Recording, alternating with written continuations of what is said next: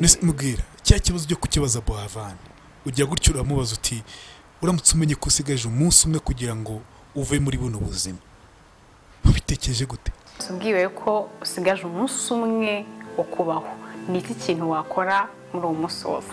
Amen, na- na- na- na- na- nanezerwa nakwishima na mbese na makinga shuwa ko nezerewe pe. Njyewe swati natumiza izo nshuti abavandimwe tukagira ibyo bihe. Tugatarama tukaririmba tukabyina tugakora iki Eh, kuko one thing is for sure naba naba ngiye mu ijoro ukibona kikugarukiye ukabona sitati zose zawe? Njye nagize ubwoba. Ni ukuri nagize ubwoba. Na- ni bwo natangiye kubitekerezaho ndavuga none se gusa kuki nagiye kubaza bino bintu kweri? Uvutse ugakurira mu muryango papa na mama bahari ni amahirwe. Ariko noneho iyo bitagenze uko nguko ugakura- ugakura urerwa n'umubyeyi umwe bitewe n'impamvu zitandukanye njye papa wanjye yari yarapfuye uko mbitekerezaho nyine cyane ngenda agahinda kagabanuka ariko kandi nyine nka- nkanaguma njyenyine. Ujya ufata umwanya wo kurira? Eh, cyane. Ejo ndi wararize narize Segonderi. navuga ngo kuva muri segonderi natangiye kwishyurira kubera ayo mahirwe nagiye ngira yo gukora ndi mutoya. Icyo kintu ndumva ari ikintu gikomeye cyane. Utangira gukora uri umwana muto cyane utangiye no kwishyura. Njyewe rero siko nari imeze niba byaterwa hari n'ukuntu umuntu aba yarerezwe n'ukuntu uba warakuze umva njye nakuze ndi kumwe na mama na kamere ari twe twenyine. Kuvuga ngo mbonye amahirwe nk'ayo ngayo ngiye kuyakoresha ibindi. Ah, sinzi uko umutima nari kuwugira. I- byanze kunze izo feedback zibonaga ubwo butumwa bubonaga bakubwira ati uri mwiza kuri, televiziyo ukuntu uri kubinshinja kandi ntabwo nabonye. Ibyo gihe bambwiraga we ntibabikubwira ni byo nkubwira ngo ko babikubwiraga ntibabimbwire ntabwo you sure? bambwiraga. Ni ukuri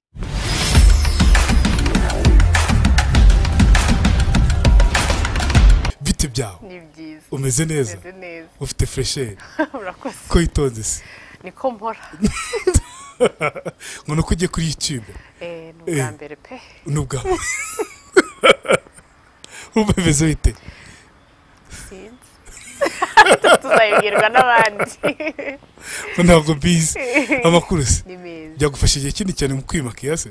Oya. Ntabwo bingora pe. Ntubizi ko uri gutya mpora ni make. Buri munsi urabikora kandi. Eh, ntabwo ari buri munsi mbikora mbikora iyo hari aho ngiye iyo ari ngombwa. so ni nadia turi kumwe. Nadia umutoni ukora kuri televiziyo rwanda. Twizere ko mwamubonye ndetse muza no kumenya byinshi cyane kuri we ukuntu yatangiye kariyeri by'umwihariko y'itangazamakuru. Uyu munsi akaba akorera kuri televiziyo rwanda ndetse na radiyo rwanda. Ngahe nguko? N'ikiganiro inkuru yanjye. Turi muri sande park ni jaride nziza cyane. Aho ushobora kuza kwifotoreza cyangwa ah, gukorera ubukwe n'ibindi birori bitandukanye. Abantu bifuza kwitekerezaho cyangwa bifuza by'umwihariko n'igihe cyabo ni ukwiturangiye muri sande park hano i nyarutarama. Nk'uko muri kubona ku mashusho izo nimero muze kuzihamagara. Ikindi nanone nadia ku bantu mwifuza by'umwihariko kugurira hanze y'u rwanda nko kuri amazon alibaba imyenda nk'ingi ya nadia cyangwa ali express by'umwihariko nko muri leta z'ubumwe za amerika mu bushinwa cyangwa dubai. Si ngombwa kujya gutuma abantu mutume iguriro ririzewe cyane. Iguriro duhamagaye kuri zeru karindwi mirongo inani na rimwe mirongo inani na rimwe mirongo itandatu na rimwe mirongo inani. Iyo nimero iri no kuri watsapu icyo wifuza cyose ukitubaze tubaza kukubwira uko byifashe. Hagati y'iminsi irindwi na cumi n'ine. Icyo wifuza kiba kikugezeho. Ikindi kirenze kuri ibyo ngibyo ushobora no gukoresha apu yacu ni iguriro shopingi ndetse na webusayiti ni e ebyiri guriro doti komu nk'uko muri kubona kuri aya mashusho hejuru muraza kugenda mubyandukura mudutume ebana turatumika kabisa. Nadia reka duhite du- tu- tujya mu kiganiro cyacu twifuza kumenya inkuru yawe. By'umwihariko ah, ukuntu watangiye itangazamakuru byaje gute? Um, natangiye itangazamakuru kera. Ngo nivuga kera Yeah. eh, nkiri umunyeshuri muri segonderi ntabwo nari narigeze na rimwe ntekereza ko nzaba umunyamakuru. Nta nubwo ari uko nabikundaga cyane wenda ngo mvuge ngo ni cyo nashakaga ndagikorera nkigeraho navuga ngo ni amahirwe nagize kuko um, igihe natangiriye nigaga muri deuxième secondaire yego mu wa kabiri segonderi. yego urumva ko nari nkiri mutoya. Mu gatatu hagati aho ngaho. Nari nkiri mutoya kuvuga ko rero na- ari byo nashaka cyane nari nzi n'icyo nshaka naba ngiye kubeshya. Naje kugira amahirwe ah, mu- mu- umukuzine wanjye ah, ndangira ahantu bari bari habagayo amahugurwa ukajya gukora nyine itangazamakuru gake gake ibintu nk'ibyo njyayo ntabwo nari mbisobanukiwe cyane. Kwa kundi nyine ugenda nyine kuko umuntu yakubwiye ati mfite wenda umukuzine mfite akana k'agakuzine nzi kaza kagakora bino bintu. Nawe wenda wari ubizi ariko njye ntabizi njyayo nyine nk'abandi nyine iyo uri umunyeshuri ufite n'umwanya iyo ubonye utuntu nk'utwo ngutwo nta mpamvu yo kutureka. Cyangwa se kubireka njyayo ntangira nyine ndahugurwa ntangira eh, kwigishwa nyine uburyo ba- ba- batari inkuru bakora amareportage bakora itangazamakuru muri rusange nyine uko ba- barigenza ah, bitangira gutyo.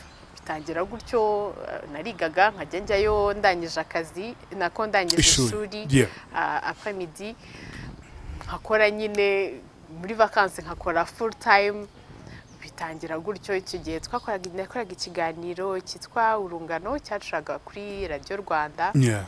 Ah, kera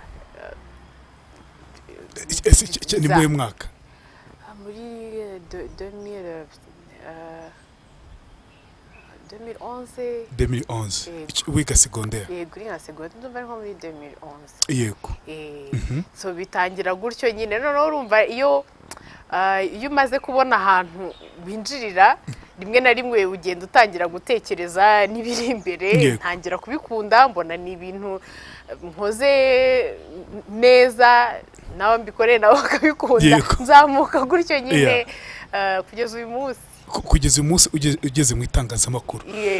Wagize urarikunda wumva ko ugomba kuba umunyamakuru yego. Ni ukuvuga ngo na- na- nararikunze noneho urumva na opportunity ya mbere nari mbonye yagiye impesha ayandi mahirwe menshi yo gukora ibindi bijyanye n'itangazamakuru. Ngenda ngurowinga muri kariyeri ku buryo narangije segonderi navuga ngo ah, simbyite kwiyemera ariko numvaga ko mfite kapasite nk'iz'undi munyamakuru wundi Uwo ari we wese. bitewe na experience bitewe na umwana nari mfite n'amahugurwa menshi nari maze kugera numvaga ko kwa kundi uvuga ngo noneho ndangije segonderi ngiye kwiga iki muri kaminuza ntabwo nigeze ntekereza ngo ngiye kwiga journalisme muri kaminuza. Kuko navugaga nti nta sinzi ko hari ikindi kintu gishyashya ngiye gukurayo. Eh, amahirwe ndayafite package ihagije ndayifite ahubwo nyine no gukomeza gukoresha iyo experience nyine mu itangazamakuru hanyuma noneho wenda na nka nkayishaka mu kindi kiri related. Yego. N- n- nese mbwira icyo gihe wakoraga gutyo warahembwaga ntabwo urumva kuko uba utarageza imyaka y'ubukure. Niba ariko nabyita Yego. Ntabwo ba- ntabwo- ntabwo baba baguhemba nk'umushahara. Baba babyita nk'ikise nka mm, nyine ni nka transport. Yego, Eh, biba ari nka tike kuko nta hantu bashobora kujusitifiya ko uri umwana nyine ukora. Eh, nahabwaga nyine itike niko nayita. Tike ariko irenze kuba tike. Kuri njye icyo gihe yari amafaranga ni ukuri menshi kuko yafashaga Wa- wahembwaga angahe icyo gihe? oya ntabwo ndi buyavuge ariko ni menshi. Icyo gihe yari ari menshi. Kuko niba ari amafaranga yamfashaga koko muri tike yo- yo kujya mu kazi yo kujya ku ishuri no kwi- no kwishyura kuri menerivare cyangwa se menerivare y'icyo gihe. Yego bivuze ngo icyo gihe uri umwana wa- wanishyuraga ya minerval narakontribuye rwose kuri menerivare yanjye muri segonderi muri navuga segonderi ngo kuva muri segonderi natangiye kwishyurira kubera ayo mahirwe nagiye ngira yo gukora ndi mutoya. Icyo kintu ndumva ari ikintu gikomeye cyane. Utangiye gukora uri umwana muto cyane utangiye no kwiyishyura minerval icyo kintu gifata gute? Uyu munsi iyo utekereje ugasubiza amaso inyuma. Navuga ngo na- ni amahirwe kuko ntabwo ntabwo ari umuntu wese uhita ubibona cyangwa se uzi ko bizagenda gutyo nta nubwo ariko nari mbizi nta nubwo ariko mu rugo bari babizi. So rero ni amahirwe nagize yo kuba nanjye nara- na- na- narabashije kugira contribution mpa mama wanjye. Mm.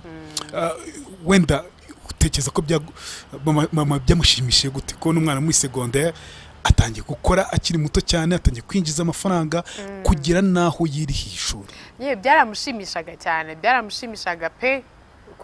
Kameme iyo umubyeyi uwo ari we wese niba ufite inshingano icumi ugakurirwaho imwe cyangwa se zingahe. Yeah. ampulisi ukabona ko ari ibintu bifitiye umwana wa akamaro birashimisha. Kandi usibye wenda na Biba niba mu byabonye urimo urakora yego uri mutoya ariko hari icyo umufasha.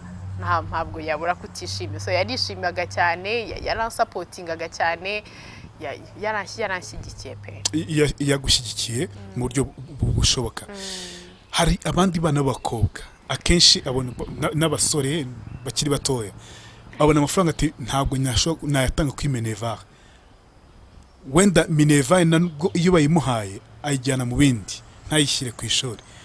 Umutima wokuyeho hehe ubwo bwenge wokuyeho bwo kumva ko amafaranga uhabwa utagomba kuyagera mu myidagaduro cyangwa mu kwinezeza kundi ugomba no kuyariha mu ishuri. Ngira ngo hari biterwa n'ukuntu umuntu ameze. Biterwa hari na personalite y'umuntu. Ntabwo ntabwo nibona mvuga ngo amafaranga mbonye nyajyanye mu bindi. Sinzi ko na mama wanjye yari kubyemera cyangwa se yari gukomeza kunshyigikira mu kazi. Yari kumubwira ati icara n'ubundi ibyo ukora nta kintu bikumariye nijyewe kwishyurira komeza. Uko byagenda kose hari situwasiyo y'ubuzima umuntu aba arimo eh, iguha gutekereza igikwiye. Ni ukuvuga ngo buse wenda sindi bujije umuntu utekereza gutyo?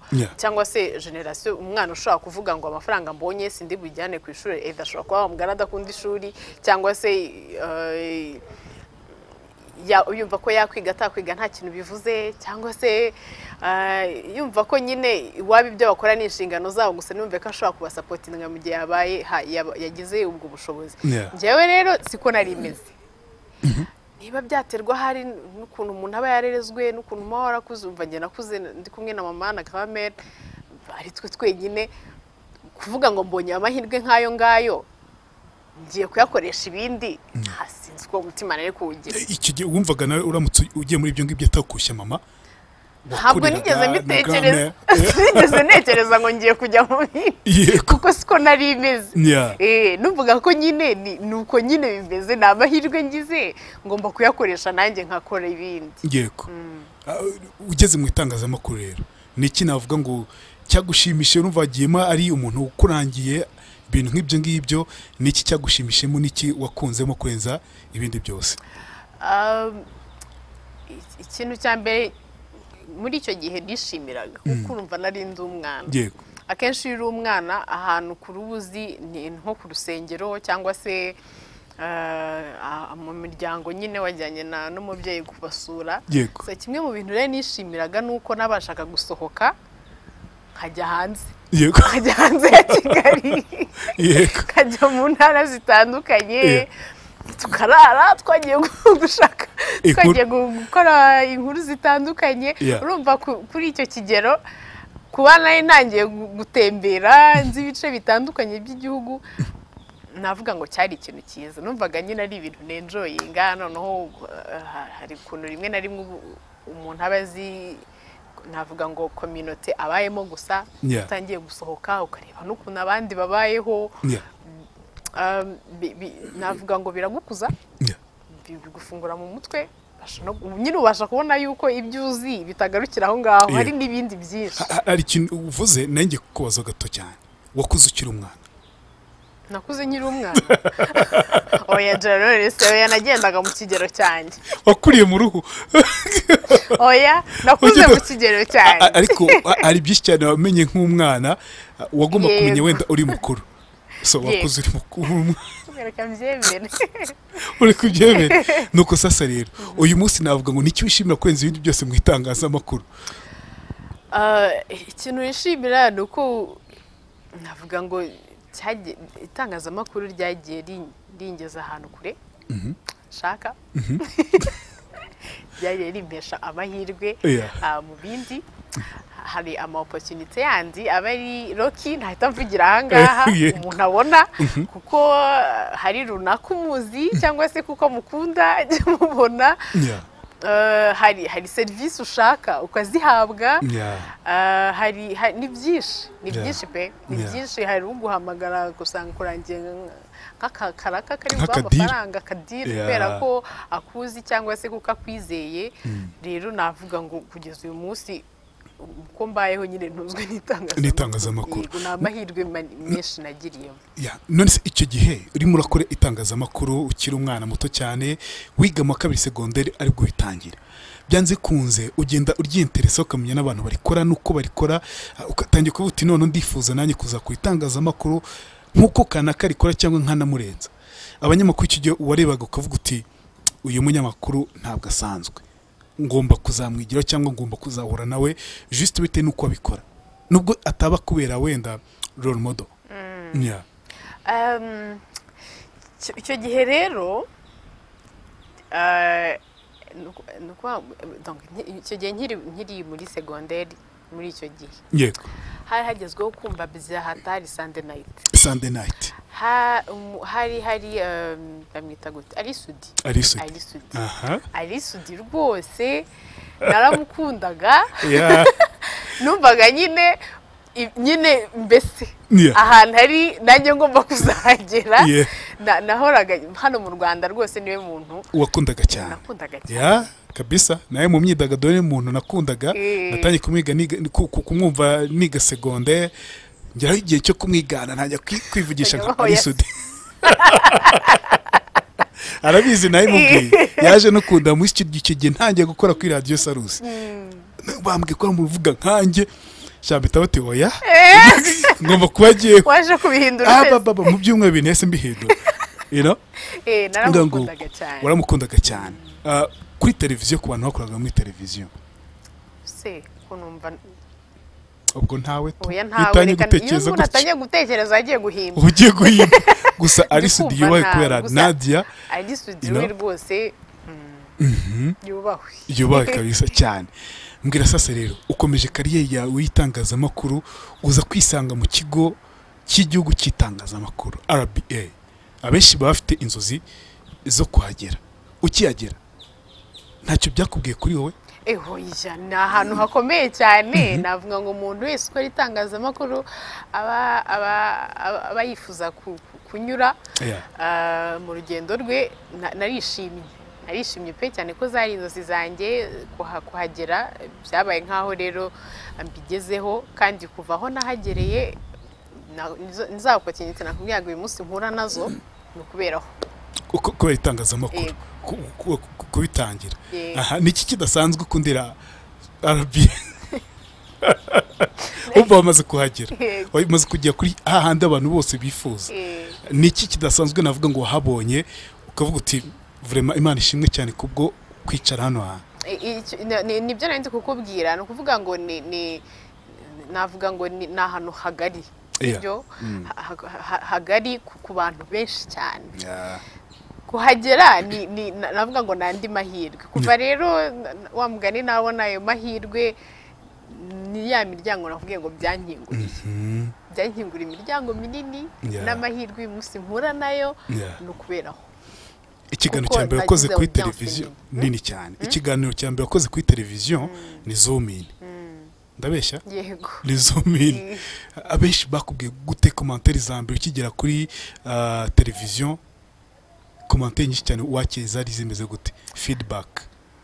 Eh, wa zoom sinzi abantu benshi barayikunda. Kuva natangira nta feedback mbi nigeze nigeze nigeze mpabwa. Eh, cyane cyane inshuti zanjye ababashaga nyine ku- kumpa feedback ako kanya ba- barabikunze baranyishimiye ba- kuko abenshi nka- nk'abo twari twariganye cyangwa bari bazi ko na- naho nagiye nkora bitandukanye barambwiraga bati felicitasiyo abenshi ba- ba- bambwiraga ngo bakuzane umukobwa mwiza wana Wowe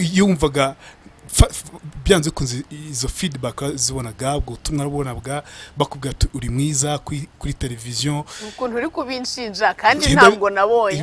Ibyo gihe bambwiraga we Na- ntibabikubwira. Nibyo nkubwira ngo ko babikubwiraga ntibabimbwire ntabwo sure? babibwira ni ukuri ni we uri kubimbwira kandi igihe babimbwira buri munsi n'uyu munsi. Bambwiraga ngo umukobwa dukorana mwiza. Uyu munsi asigaye ngo wa mugore. Eh, iyo wumvise ikintu nk'icyo ngicyo. Kamwe njya mbikubwira. Ubifata gute? Eh, iyo numvise iki ko bavuga ubwiza bakubwira ngo uri mwiza ubikora neza. Ni- ukubashimira ese ko nyine ni amavuta y'imana? Nadahise byoroshye ni amavuta y'imana ndabashimiye U- u- uyu munsi rero wifuza kugira hehe inzozi zawe n'izihe mu itangazamakuru? By'umwihariko. Cyangwa zararagiye nze nzitekereza nzirimo. Mwisi uzitekereza? Oya urumva uzirimo? Wamaze kujya mu nzozi. Ariko ni ugukomeza gupushinga nyine. Eh, bigakomeza bikaguka. Eh, uyu munsi income uyu munsi bimpa uyu munsi. Mu myaka iri ingahe noneho ikazaba iri kwikuba gatanu. Nicyo cya mbere umuntu aba ari kureba. Yeah. Mm. biragora kubaza umunyamakuru mukorana. Nicyo? naho ndagoye. Mbwira sasa rero. Tujye mu tuntu n'utundi. Nadi niki kigushimisha kurenza ibindi byose mu buzima bwawe? Kurenza ibindi byose. Ah, navuga ngo se kira. Iyo iyo nkunda kuguma njyenyine iyo nagize time yanjye hari ukuntu wumva ufite ushaka nko kwirirwa mu rugo uryamye wirebera filime cyangwa se wikorera amasuku nyine kugira umwanya wanjye njyenyine yego. Biranshimisha. Ni dukunda nta- Mm. nta yindi activite yindi wenda irenze nzi nkora nkishima Mm. ibyo ngibyo nyine mba numva bihagije hari n'igihe uba wumva utanafata telefone cyangwa se ushaka kuba Mhm. wenyine. ninde muntu ukunda kurenza abandi bose ku isi? Mama wanjye mama wawe hagakurikiraho umwana ngo kugeza uyu munsi. Eh. haba reka mbanze mbitondeke neza. Abanza umwana wanjye. Aha. Agakurikiraho. Buse oya ndawe ngiye nawe ngira hagiye baba bifu ahita hazamo bifu reka habanze umwana wanjye. Eh. abandi bose baraza kubyumva. Mama n'umugabo baraza nyuma Ba- bari aho ngaho.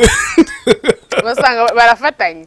Habanza umwana hagakurikiraho umugabo na mama. Eh, Eh. buri wese mu mwanya we.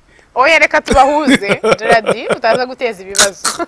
Ntazi guteza mutiyaje tutaza guteza ibibazo ariko reka tuhe- habanza umwana wanjye hagakurikiraho babiri. Bari ku mwanya wa kabiri. Yego. Ni- niki cyagushimisha kurenza ibindi byose kuri ino si? Niki cyagushimisha kurenza ibindi byose kuri ino si? Kubyara. Kubyara. Bimera gute? Gusa nakubwira ko bimera sinabona uko mbivuga ariko bira- birashi ase jera we ntiwabyaye ngera byenda umugabo ariko wabyara umugore. Ariko ibyo ari byo byose ibyishimo twenda kubihuza tubwira ko umuntu utarabyara ubyifuza by'umwihariko bishimisha gute binezeza gute byakunejeje gute. Ukuri ni ibyishimo utabasha kubona ukuntu mu magambo uvuga. Eh. Eh, ntabwo nabasha kubona ukuntu mbigenza rwose ngo mbisobanure ariko birashimisha ku kigero kitabasha gusobanurwaho. Yego. Niki cyakubaje kurenza ibindi byose? Kuri ino si. N'uyu munsi ujya utekereza ukavuga uti ku iki kintu. Kintu wemeye ko kimbaho. Kavuge ngo ntacyo. Nadura ni mbeshyi. ibyifashe. ntacyo. Nemera ko ibintu byose biba ku bw'impamvu. Ntagira mbeshyi. Ntabwo nkubeshye.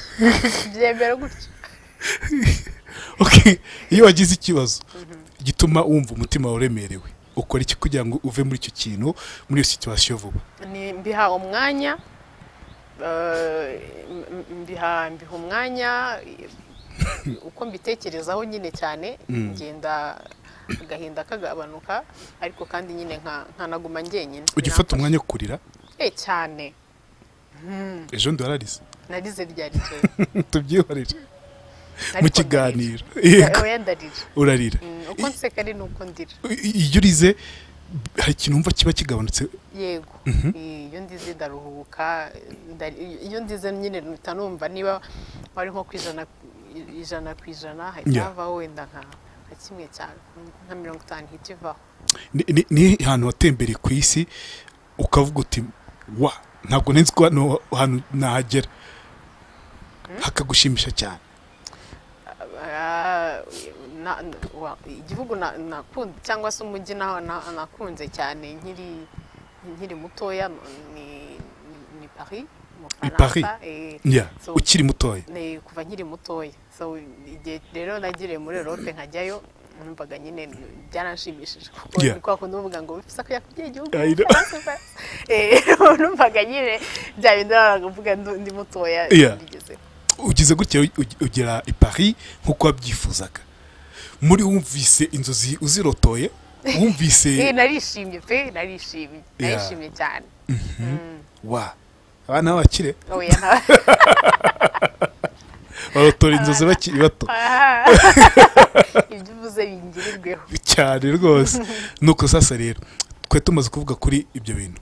Ibyagushimishije ibyakubabaje uyu munsi ninde muntu wagushimishije cyane buri munsi ujya wumva washimira bitewe n'ibyagukoreye? Ah, ko ari benshi. Ariko ni ni mama wanjye of kubera iki? Byanze kunze ni umubyeyi ariko aba ari mu nshingano ze ni cyo yakoze kidasanzwe gituma uvuga uti ndagushimira Ah, ni- byinshi kuba yarandeze wenyine. Mm. Ah, kuba yakoze wenyine byakubaye igikomere se? Byarakubabaje cyane.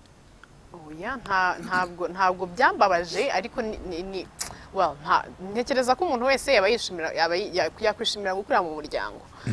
Hanyuma iyo utagize ayo mahirwe ariko ukabona umuntu ah, rimwe na rimwe tujya tuvuga uyu munsi kubera ko nabyaye. Mba ndimo ndavuga ngo ntabwo ntabwo umwana wanjye yigeze ansaba kuza ku isi. Mfite inshingano zo kumwitaho nkamuhereza ibishoboka byose biri mu bushobozi bwanjye kugira ngo yishime. So rero iyo iyo uvutse ugakurira mu muryango papa na mama bahari ni amahirwe.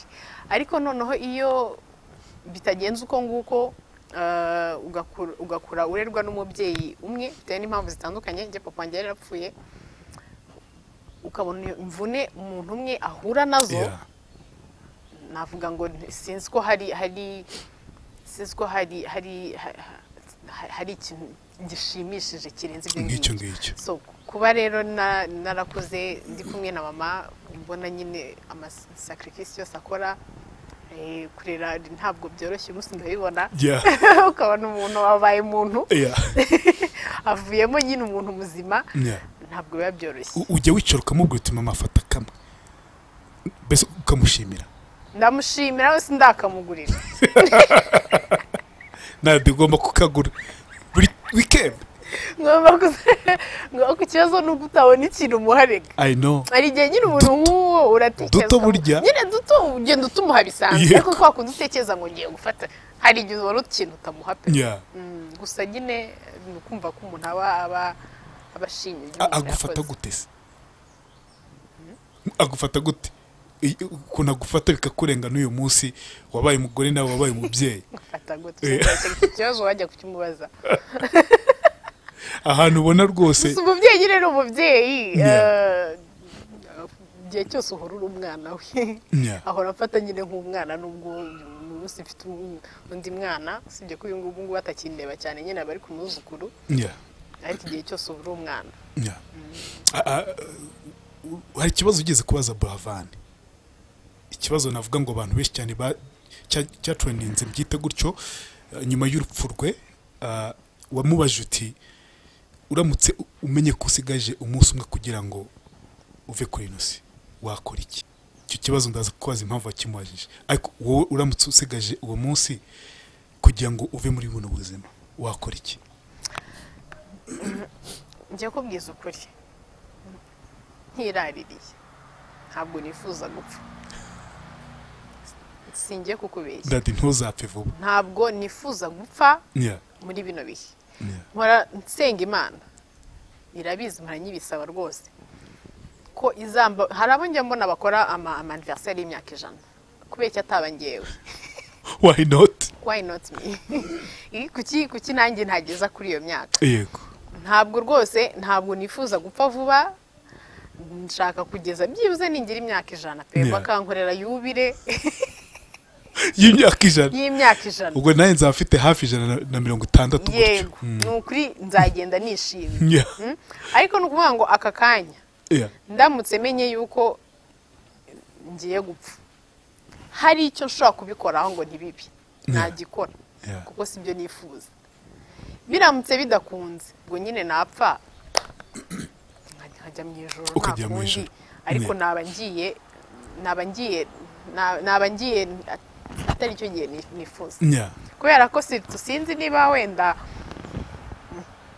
sinzi niba nawe ubu ngubu bijya bikubaho ariko uh, gutya ubu ngubu mfite famiye mfite umwana mbavuga ngo none se mpfuye byagenda bite? Niyo mpamvu mbwira ngo sinshaka gupfa. Yeah. mpfuye se umwana wanjye bya of course yabaho. Afite uburyo yabaho. Ariko nta ntabwo mbishaka kuko nshaka kubaho ko mbaho nawe ahari. Ntabwo ushaka kuba imfubyi ntabwo nshaka ko abipfubye Ku- kuba wari imfubyi ukiri muto ni kimwe mu bintu bigutera ubwoba ku mwana wawe. Ntabwo navuga ngo ni kimwe mu bintu bintera ubwoba ku mwana wanjye ariko si- simbona ntabwo ntabwo mbasha kubona ntahari mu buzima bwe.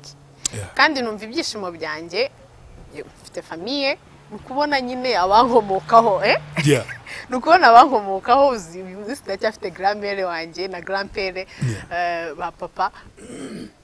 Iyo mbashyiriye umwuzukuruza wabo barishima. Iyo bamubwiye bari kubaza umwana mwiza ate? Nyine mba numva ibyishimo bafite kuki ngiye ntabigira. Eh, nanjye nshaka kubona abantu bankomokaho cyane. Urumva navutse ndi umwana umwe kuri mama ariko mfite abandi bavandimwe benshi. Noneho nanjye ndashaka kubona umuryango mugari. mugari. Munini unkomokaho Wow. sinshaka mva dear god. Ni uko imana yumve nabi sinshaka gupfa. Ntabwo ushaka gupfa nabi ndacyafite nda- noneho. Ntekereza ko hari byinshi ngomba gukora ntarakora. Nshobora kuba mbizi cyangwa se ntabizi. Sibyo? Ibyo ugomba gukora. Ndi mu nzira cyangwa se ntarayijyamo. Wenda kuko igihe kiri imbere ari bwo nzabasha kumenya icyo nahamagariwe. Kuko rero sinzi ntabwo ndakimenya neza. Wasanga ndi mu murongo cyangwa se eh, wasanga ndi mu murongo wacyo cyangwa se ntaranaganya no gufungura amaso ngo icyo imana yanzaniye ku isi njye mu murongo wacyo. Sinshaka rero kuzapfa ibyo byose bitagezweho.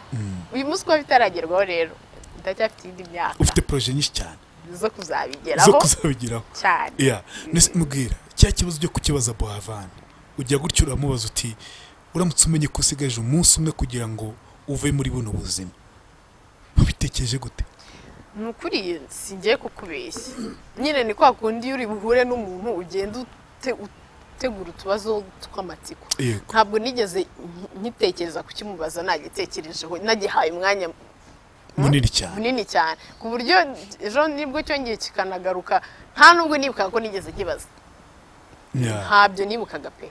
Ntabwo navuga rero ngo na ngo nabitekerejeho cyane ngo eh, buya ntabyo ni kwa kundi nyine utegura ibibazo iyo ugiye guhura n'umuntu uri bumubaze ugashyiramo eh, utubazo nyine tw'amatsiko n'iki? Ntabwo nari narigeze U- mbitekereza ukibona kikugarukiye ukabona sitati zose zawe. Nagize ubwoba. Ni ukuri nagize ubwoba. Ni bwo natangiye kubitekerezaho ndavuga none se gusa kuki nagiye kubaza bino bintu kweri? Numva ntangiye nanone kongera kubitekerezaho ndibureminga undi mwana avuga ko ntabwo nari nabiteguye nta nubwo nari nzi ko bizigera bibaho Yeah. nta rwose. n'uruhare ufite mu kuba kwabyo. Nonese u- ukimara kumva urupfu rwa Boravani muri wumvise bimeze gute nandi? Byagenze gute? Wabifashe ute? Sinakubwira uko nabifashe. Kubera ko mana yanjye sinzi ko nakubwira ngo ni ukubabara kuko birenze kubabara. Na- na- na- na- na- nabibonye nko mu masaa cyenda hafi saa kumi kwa kundi ubyuka ugiye konsa umwana eh, nyine nikojeje ku mbuga nkoranyambaga mm, mpita mbona amasitati mpita mbona eh, itangazo plus yari yapostinze mba nagize ubwoba pe! Kundeba ntinya gupfa nabikubwiye noneho kubona umuntu muto buravane navuga ngo turangana. Twaranganaga nabuze ukuntu mbyifatamo ubwoba buranyica kuva icyo gihe sinongera gusinzira sinakubwiye amarira narize narababaye pe! Ni hahandi uhita uvuga ngo nanjye napfa. Ubundi mwanya nkavuga sinshaka gupfa. Noneho sinzi niba wenda ari njye ufite icyo kibazo ariko ndabitinya. Bwa bwoba bwose bwo kubitinya noneho buraza ndavuga none se guta umuntu tungana apfa. Kuki apfuye narababaye. Ya birumvikana. Mwakoranye ikiganiro mwari muziranye niki ujya umwibukiraho? Ikintu mwimukiraho ni uko yari navuga ngo yari hambo yacaga bugufi. Ya- yacaga bugufi pe. Yacaga bugufi kuva igihe cyose umushakiye kuva niba wakubwiye turahurira mu rugo nyine wabonaga ari umuntu usanzwe murabanza mutere sitori nta kwikomeza by'aba- by'abasitari n'iki nyine yari yari aciye bugufi pe. Yari navuga ngo ngira ngo wenda sinzi. Yari ashobokanye n'umuntu uwo ari we wese. Haba mu byo kuganira haba mu byo kubana nawe sinzi ko nabikubwira yari imfura Yeah. Ah, nadi hari ukuntu bakunda kuvuga ngo umuntu utinya urupfu agenda kare. Iyo umvise icyo kintu kandi nawe uzi ko utinya urupfu. Bifata gute? Ndabizi ko bishobora kuba. Sibyo? Ariko ni byo nakubwiye. N'imana na yo njye nyibibwira. Ndamutse ngiye kano kanya. Nagenda mbabaye. Shanadi ntuzagende mbere. kuko sibyo nifuza uzageze ku myaka ijana nzayigezeho pe nyagasani nzagushima. nzagushima. Ibaze ariko kugeza mu myaka ijana inshuti zawe twese twarapfuye. Oya ntaho muzaba mwaragiye ubundi isengesho ni uko ngeza ku myaka ijana mfite abavandimwe mfite inshuti abantu bose nkunda mugihari ibyo ntabwo ubwo rero mwe mu- mushaka kugenda ntaho muzajya kuko nanjye ndabafite mu isengesho. Ntabwo bishoboka. Ntaho muzajya. Ah, ntacyo tu. Shanadi reka tugane ku musozo w'ikiganiro cyacu. Eh. Ah, nishimiye kuganira nawe. Numvaga ibintu bitaza kunyurira nk'umuntu dukorana. Ariko bigenze neza cyane. Thank you so much. Urakoze nawe. Usuze umwana n'umuryango. Ndabasuhuza bose.